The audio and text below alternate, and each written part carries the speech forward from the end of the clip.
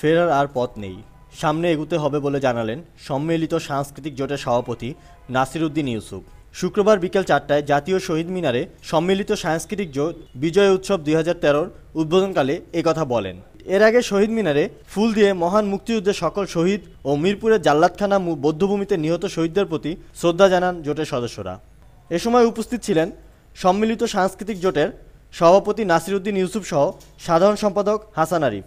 বিজয় উৎসব দুই হাজার তেরো উদযাপন পরিষদ দায়িত্বে থাকা ঝুনা চৌধুরী, রামেন্দ্র মজুমদার, সারা জাকের, ফকির আলমগীর সহ আরও অনেকে।